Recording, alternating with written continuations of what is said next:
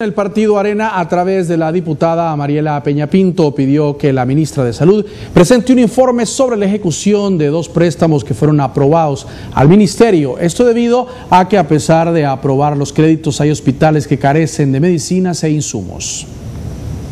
un informe en qué gastan el dinero con los dos préstamos que se han dado, uno en el, la ejecución de los préstamos. Queremos saber en qué lo han ejecutado y cómo lo han ido gastando porque no conocemos y cuál es la razón por la cual no hay medicamento y por qué no le dieron el presupuesto que necesitaban para los medicamentos en los hospitales públicos. Yo voy a visitar, voy a pedirle cita a la ministra para poder que me diga cómo se encuentran eh, los préstamos y por qué razón no hay eh, medicamentos en los hospitales y si hay hospitales que han sido remodeladas porque no tienen los insumos necesarios para poder operar.